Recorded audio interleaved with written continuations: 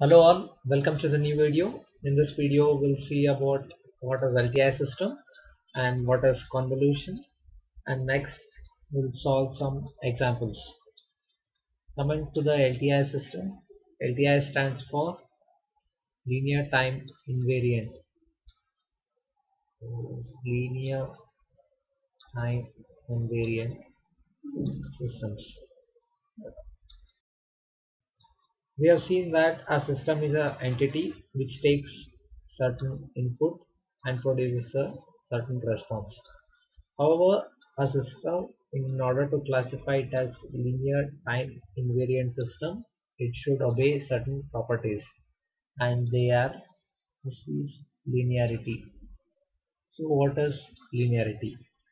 If the input is scaled some signal. That is x1 of t is one signal x2 of t is one signal and these are the scaling factor.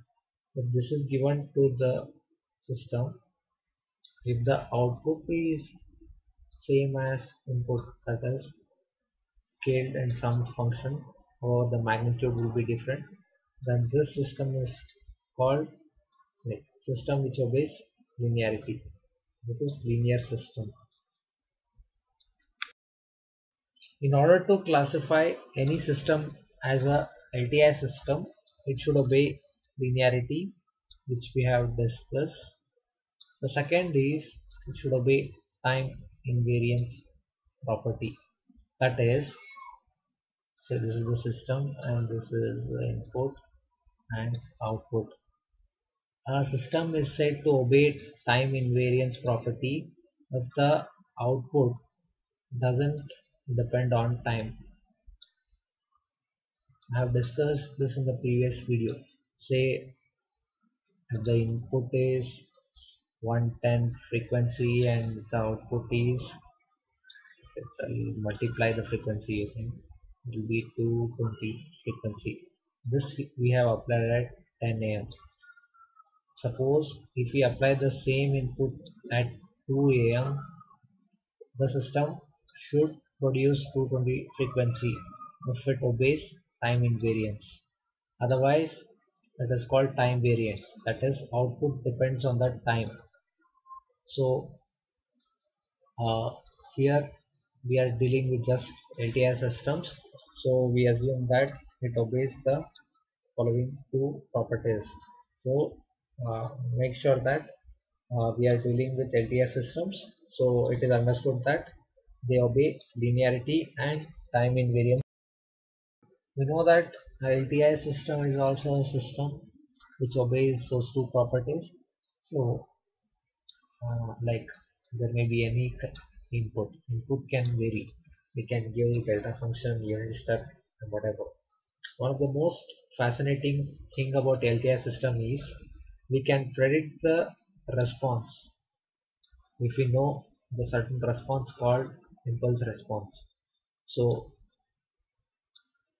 if we know the impulse response of LTI system this is LTI system.